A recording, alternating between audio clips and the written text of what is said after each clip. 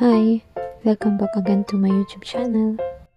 If you are new on my channel, please do subscribe and hit the notification bell down below for more updates.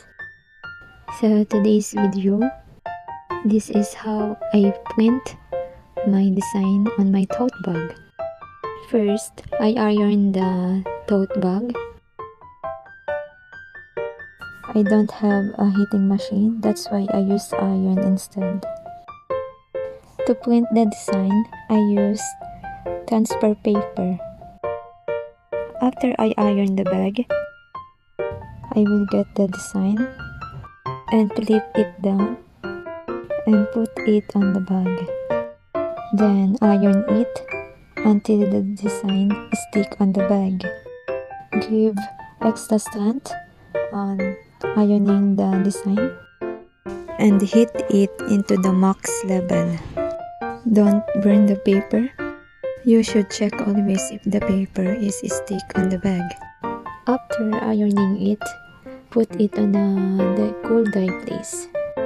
Leave it until it cool down. So if you don't have a heating machine, use iron instead. This is the easy way on how to print design on the bag. It's hard at first because you have to give all your strength to ironing the design on the bag.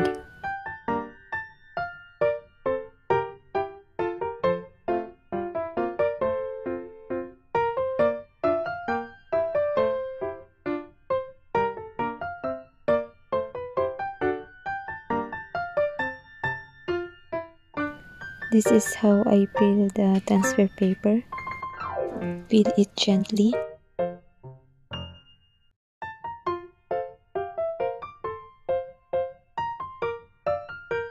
That's it for today's video. Please don't forget to like and subscribe and hit the notification bell down below for more updates. Thank you for watching.